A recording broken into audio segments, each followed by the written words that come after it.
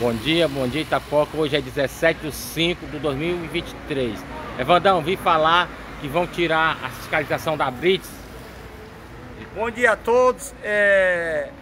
Eu também ouvi falar.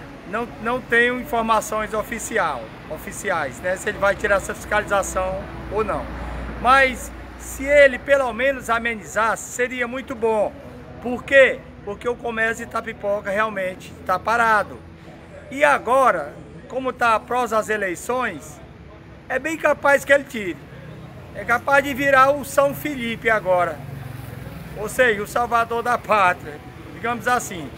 Mas essa fiscalização, realmente ela acabou com o comércio da Itapipoca. Acabou com os feirantes, acabou com os comerciantes, as lojas tudo vazia, não tem por onde o povo andar.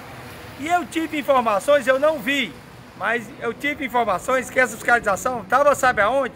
Lá no assentamento Maceió. É mole? Eu ouvi falar, veja bem, o que eu estou dizendo aqui no vídeo.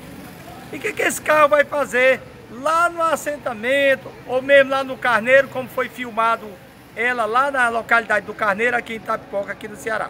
Então seria muito bom que o prefeito tivesse o bom senso, o governador, porque gerava mais emprego e renda para a cidade. Então, só tem a cidade arrecada menos. A arrecadação está lá embaixo do município e é ruim é para a cidade, para o próprio município. Por quê? Porque o dinheiro não gira. Fica tudo lá nos interior, não tem como o povo vir. Bom dia a todos, quem fala aqui é Vandão de Itapipoca.